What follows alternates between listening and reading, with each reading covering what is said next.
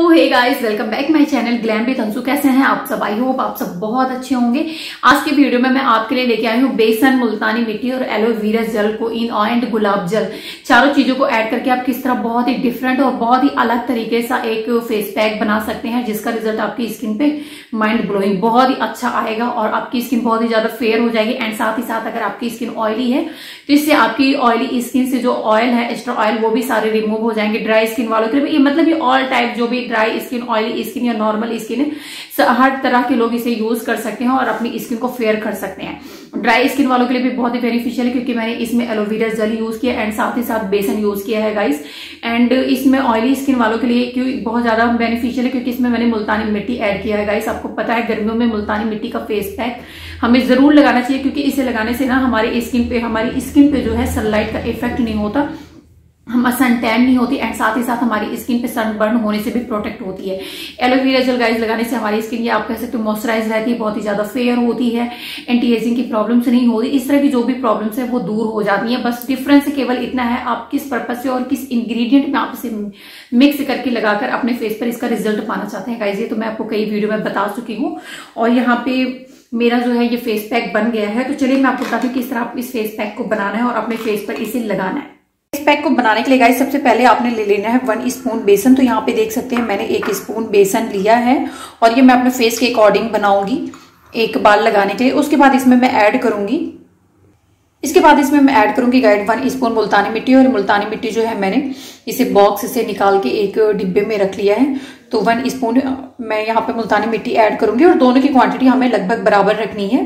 यहाँ पे मैंने थोड़ा सा और ले लिया है, क्योंकि ये अभी गर्मी चल रही है गाइस गर्मी में मुल्तानी मिट्टी हमारी स्किन के लिए बहुत बेनिफिशियल है, आपको पता है। इससे हमारी स्किन जो है बिल्कुल ठंडी रहती है, और जो हमारी स्किन पे एक्सेस ऑयल होते हैं, वो सारे रिमूव हो जाते हैं। ऑयली स्किन वालों के लिए मुल्तानी मिट्टी जो है गाइस बहुत अच्छी होती है। उसके बाद इसमें मैं ऐड करूँगी aloe vera gel guys one spoon हमने एलोवेरा जल भी इसमें ऐड करना है। यहाँ पे गैस मैंने वन स्पून एलोवेरा जेल ले लिया है अब इसे भी इसमें ऐड कर लेंगे। उसके बाद गुलाब जल से गाइस मिक्स करके हम इसका पेस्ट बनाएँगे। तो यहाँ पे गैस मैंने ये रोज वाटर ले लिया है और वन स्पून के लगभग मैं रोज वाटर भी ले लूँगी। और इसे मिक्स करते हुए गाइस हम इसका जो है एक थिक सा पेस्ट बनाएँगे।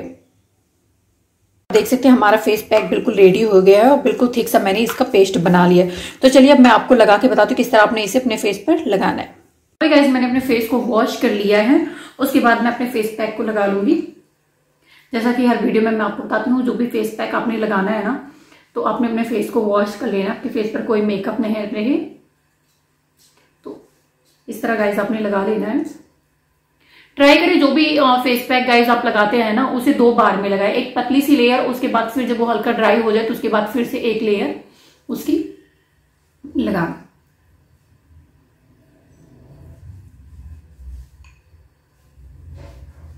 इस तरह गाइस करके, अभी जिस तरह मैं पतली सी लेयर लगा रही हूँ, इस तरह पतली सी लेयर आपने लगा लेनी है।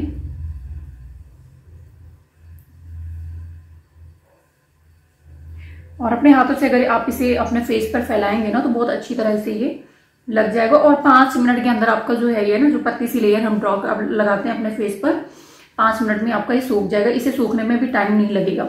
उसके बाद सेकंड जो लेयर होगी ना, वो गाइस हम थोड़ा सा थिक अपने फेस पर लगा लेंगे।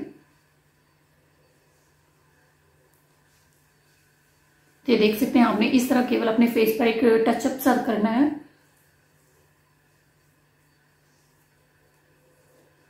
तो यहाँ पे मैंने लगा दिया गाइस अब जब हमारा ये सूख जाएगा तो इस पे मैं एक लेयर और लगा दूँगी।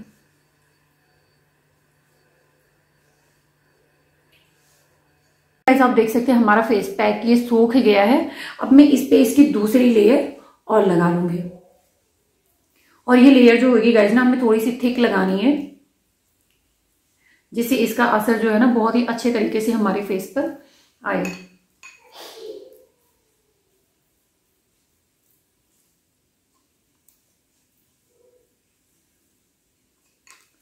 और जब भी आप लगाएँगे ना गाइस तो बिल्कुल आपने हल्के हाथों लगा रहे क्योंकि आपका जो ड्राई हो गया है फेस पैक ना, कहीं ऐसा ना हो वो निकलने लगे। तो आपने इस चीज़ को ध्यान देना है, थोड़ा हल्के हाथों और धीरे धीरे अपने फेस पर आपने इसे लगाना है। तो अभी आप देख सकते हैं गाइस बहुत अच्छी तरह ये हमारा, हमारे फेस पर लग गया है आईज के अराउंड और अब मैं इसे अपने नेक पर लगा लूँगी। इस तरह आपने इसे लगा लेना है। और अभी आप देख सकते हैं हमारा जो पूरा फेस पैक है ना, जो हमने बनाया था, अपने फेस के लिए वो भी बिल्कुल खत्म हो गया। इससे आपका जो है ना स्ट्रब बचेगा नहीं। फिर मैं सेकेंड लेयर भी इसकी लगा ली है, और अब मैं इसे 10-15 मिनट के अपने फेस पर ऐसे छोड़ दूँगी, ताकि अच्छी तरीके से बिल्कुल हमारा ये सूख जाए। उसके बाद मैं इसे वॉश कर लूँगी। अभी आप देख सकते हैं गाइस हमारा फेस पैक सूख गया है और अब मैं इसे अच्छी तरह वॉश कर लूँगी। जब भी आपने इसे वॉश करना है गाइस ना, आपने इसे ठंडे पानी से वॉश करना है और आप इसे वीकली दो से तीन बार यूज़ कर सकते हैं। तो भी गाइस देख सकते हैं, मैंने अपने फेस को वॉश कर लिया और इसका इफ़ेक्ट आप देख सकते हैं। आपको तुरंत अपनी स्किन से पता चल जाएगा कि इसका कितना प्यारा रिज़ल्ट जो है आपके फेस पर आया है। गाइस आपको मेरी वीडियो पसंद आई होगी या मेरी बताई हुई रेमेडी आपके लिए थोड़ी सी भी हेल्पफुल है तो मेरी वीडियो को लाइक और अगर आप नए हो तो मेरे चैनल को सब्सक्राइब ज़रूर करना। एंड हाँ जाते जाते मैं आपसे एक बात और कहना चाहूँगी। अगर आपको मेरी वीडियो अच्छी लगती है तो प्लीज़ मेरी बताई हुई रेमेडी जो मैं बताती हूँ, उसे यूज़ कीजिए और उसका रिज़ल्ट मेरे साथ ज़रूर शेयर करें कि आपको इसका रिज़ल्ट कैसा लगा। मेरी स्किन पे सूट करिए क्या वो आपकी स्किन पे सूट कर रही है या नहीं कर रही है? उसका रिज़ल्ट आपकी स्किन पे, मेरी स्किन की तरह ही आ रहा है या नहीं आ रहा है गाइस जिससे आप कमेंट करके मुझे बताएँगे ना तो मुझे पता चलेगा कि मेरी बताई हुई जो रेमेडी है, वो आपके फेस पर वर्क कर रही है। अगर आपको लगता है कि आपको बताना चाहिए तो प्लीज़ मुझे कमेंट करके ज़रूर बताना। तब तक ले thank you thanks for watching bye